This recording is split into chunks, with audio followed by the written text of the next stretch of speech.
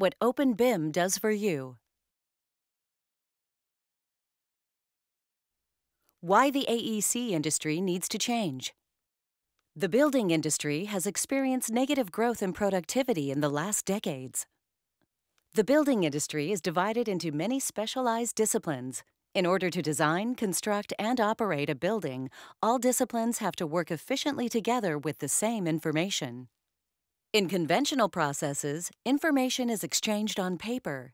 This makes room for many different interpretations, mistakes, and errors. In all conventional projects, expensive errors are made due to lack of coordinated information. Often, time schedule and budget are exceeded. How does it change? By sharing all information between all actors in one open format, everyone can work efficiently without errors. A building information model, or BIM, is a digital representation of the real building. Each object in the real building is represented by equivalent digital objects in the BIM. All building information is shared by one open format called IFC and a standardized terminology called Data Dictionary. All project actors can access relevant information when they need it so that everyone can work efficiently together. How do we want to work? Let us give you an example on how we want to work with the building information models. We want the school!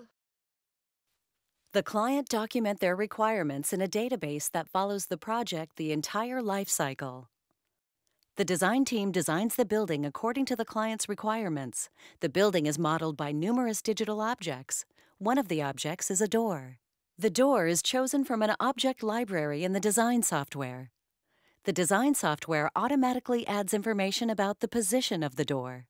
The consultants add information and requirements for dimensions, material, color, fittings and surface, thermal transmittance value. The architect positions the BIM in a digital map to enable the contractor to know exactly where to build the school. The project team uses the BIM to coordinate the disciplines and to analyze project cost, analyze life cycle costs, analyze energy performance and other environmental impact factors for environmental certification.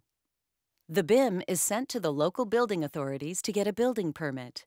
The authority's BIM server automatically checks the building and approves the project.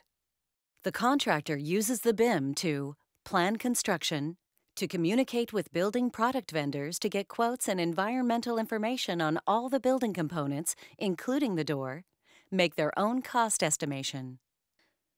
The contractor accepts the best offer from the product vendors, Automatically, all product information is added to the BIM while the real door is transported to the building site.